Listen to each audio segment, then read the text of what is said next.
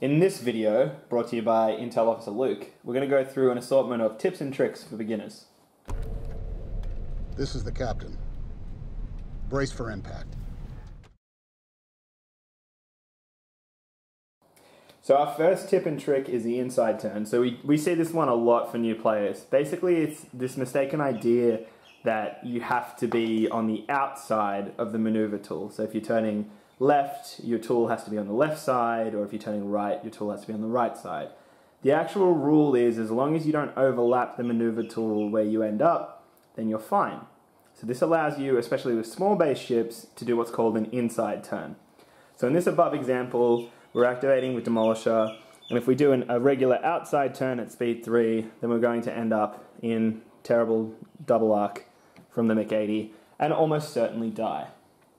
On the other hand, if we do an inside turn by placing the maneuver tool on the other side, but turning sort of inwards as it were, we end up slightly closer in and not only do we score a double arc ourselves, but we manage to just avoid double arc of the MC80.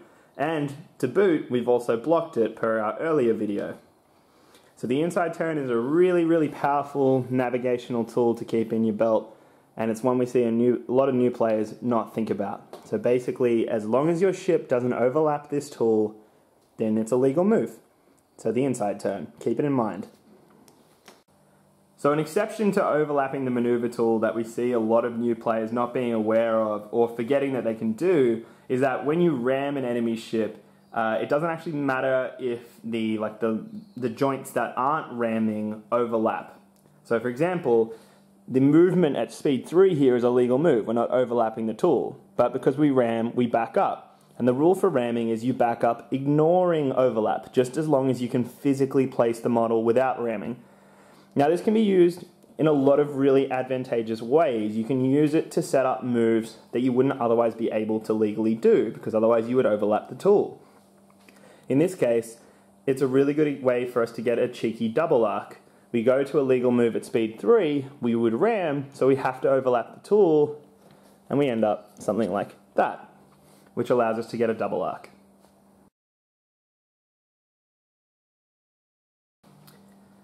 Another tip to keep in mind as a new player that we see a lot of new players forget is in general, a lot of new players forget to use their upgrades in all circumstances. But one of the main ones we see this for is leading shots.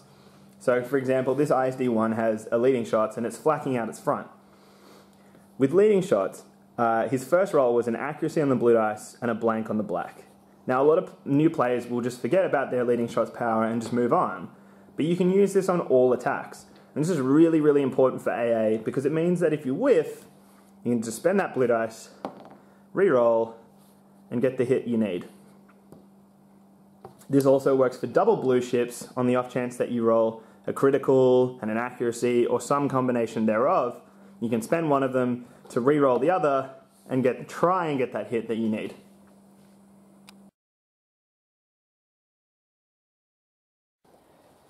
A similar one we sort of see in this vein of flak is when people move up Demolisher and they don't have a valid ship target, we often see them just not taking any shots. But if you move Demolisher up and you don't have a ship target, but you do have squadrons in range, take the flak. It's a free shot. You might as well use your power. Take that flak shot.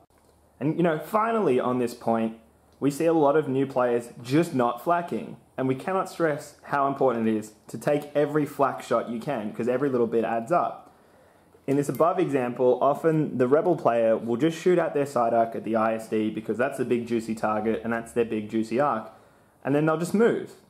But they also have a bunch of squadrons in their rear arc, and they have a black dice and a blue dice to flak them with, or two blue depending on the type of ship it is. Basically, what we're trying to tell you is, for the love of God, always flak when you can, and you don't have another valid target to go against anyway. It's a wasted shot if you don't, and we see a lot of new players do it.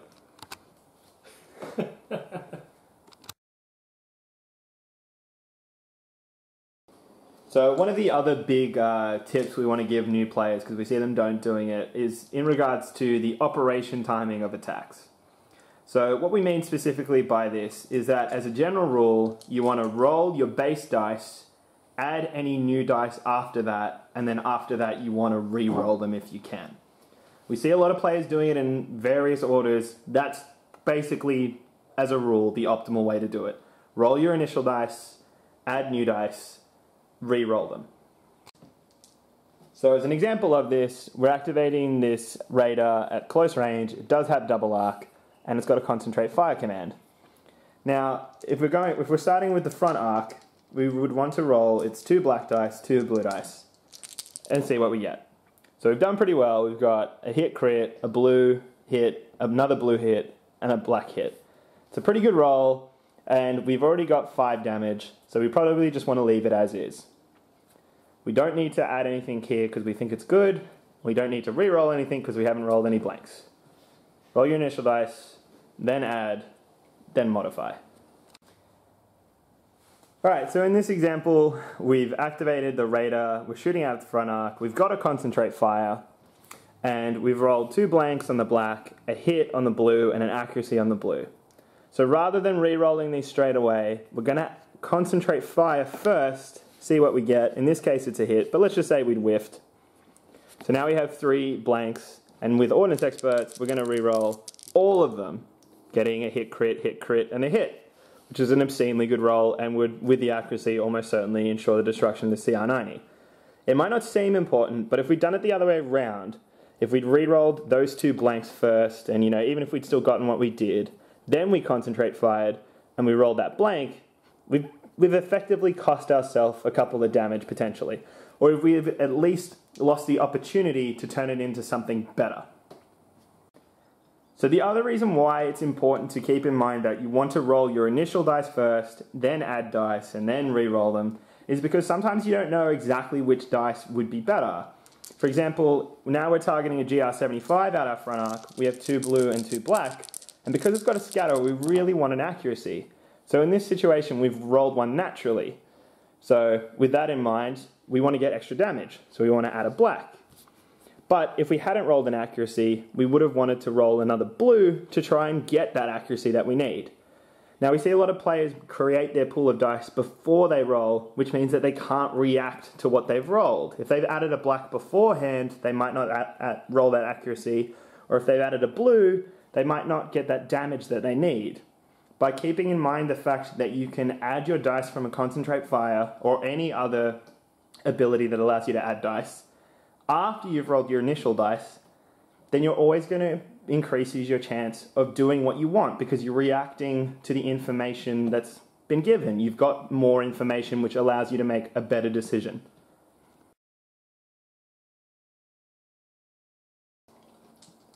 So another thing to keep in mind generally, but also specifically when you're doing concentrate fires or adding dice from powers like external racks, is to keep in mind the idea of brace brackets basically every time you hit a new odd number, that's when the brace number gets higher.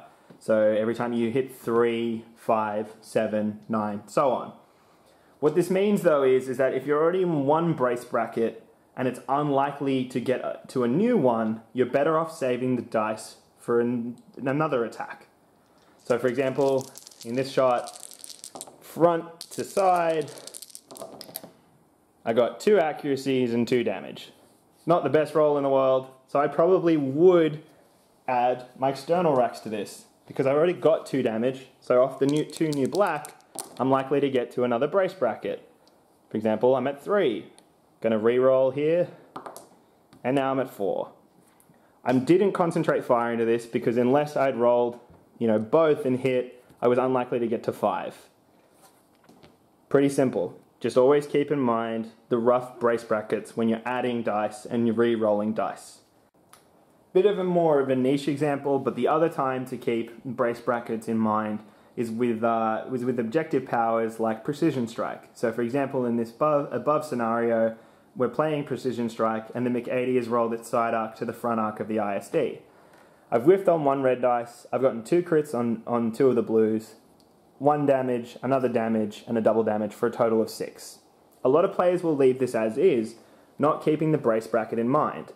5 damage braces down to 3 just the same as 6 does, so it's better for me to spend one of the dice with the power from Precision Strike, score the points, and potentially score a nasty crit. So one of the other tips we also want to give to beginners is about using the range ruler as a rough guess for the maneuver tool because obviously outside of a ship's maneuver you can't pick up the maneuver tool. You can, however, use the range ruler at any point in the game, in your turn, your opponent's turn, whenever you like. And this can be really important as although it's not perfect, it, it, can be used to get a rough idea of how far away you are on the maneuver tool. Uh, and the way to do this is just to sort of have a rough idea of where the speeds line up onto the distance. So speed 1 is roughly about the same as distance 1. It's a little bit longer, but not much. Speed 2 is about halfway into distance 3. So it's about halfway along. Speed 3, similarly, is about halfway along into distance 4. And speed 4 is just shy of the full range ruler. Now, this can be really helpful at least for straight line distances, for working out how far away you are for your ship's current speed. So for example, if I'm looking at this and wondering, do I need to speed up for Demolisher, and working out whether I need a navigate command, I can look at this and see, okay, at speed 2, I'm only going to get to about here, which is probably going to be out of range for close distance, and therefore not what I want. But knowing that speed 3 will get me to about here, I can see that I'll most likely end up in close range. And in fact, I can check that by working out where close range is. So by using the rough guidelines of knowing where my speed is on the range ruler, I can really make an educated guess on what I need. And a lot of good players do this. Obviously, it's not perfect because if you turn, it's going to shorten your, your distance traveled, but it's a good rough estimate. You can use it to make educated guesses, and obviously, as you play more, you'll get better and better at guessing these distances. But it's a really, really handy tip to keep in mind. Speed 1, distance 1, speed 2, halfway into distance 3, speed 3, halfway into distance 4, and speed 4 is pretty much the whole ruler. So another tip in mind, uh, in sort of in that vein of rough guessing where your ship's going to end up, a really handy one, especially for overlapping guessing, is that basically your shield dial, which counts for overlapping, will end up in line with where the number ends on the maneuver tool. So if you look, for example, if we bring it into focus, if we put the ship at the end, we can see the shield dial is roughly in line with the end of the three. So this can be really helpful as you can use it to work out will I ram or not. So if we look, we could see like, okay, here I'm not going to ram because the three's short of the ship's base. Whereas if we go a little further and we can see that the three does overlap, then we know that we would overlap, which could be good, could be bad. But in any case, it tells you more information, which is always helpful.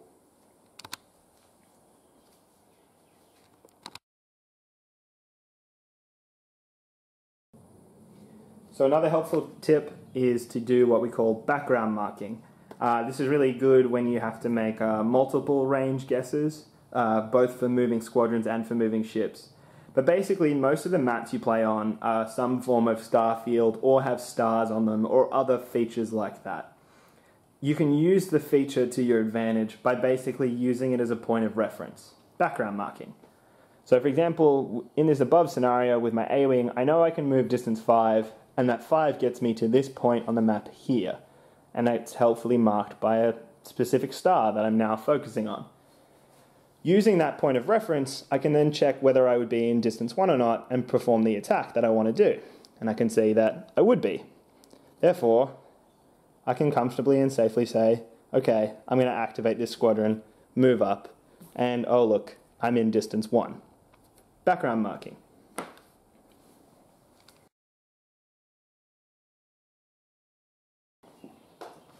So another really handy tip to use for squadrons is to use obstacles to force obstruction. Basically what this means is when you're on an obstacle, you're permanently obstructed. This is really good as it means you can't be engaged and locked down, and it also reduces the amount of flak you take. In this above example, we've put Mauler Mithel on the obstacle because perhaps we want to move him to a more advantageous point to do his lovely splash damage.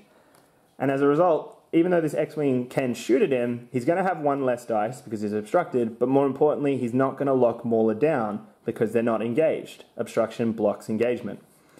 The added benefit, the two for one, is that because we're obstructed, the GR75 cannot flak us.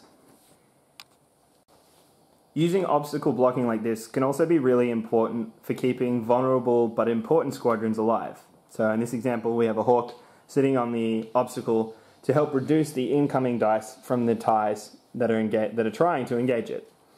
It's really good because it keeps your vulnerable ships just alive for that little bit longer. Doesn't always work, but again, it's a nice little tip to keep in the back of your back pocket.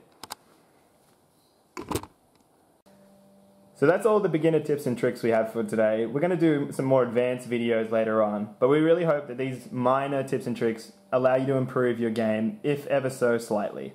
With that, we wish you all the best of success in your store champs, your regionals, your local tournaments, and just crushing whatever person you're playing with. This is Master of the Fleet Intel Officer Luke, signing off.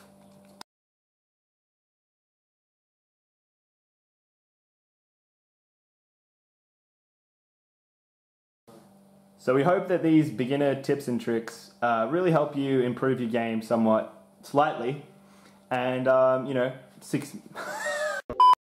so we hope that the.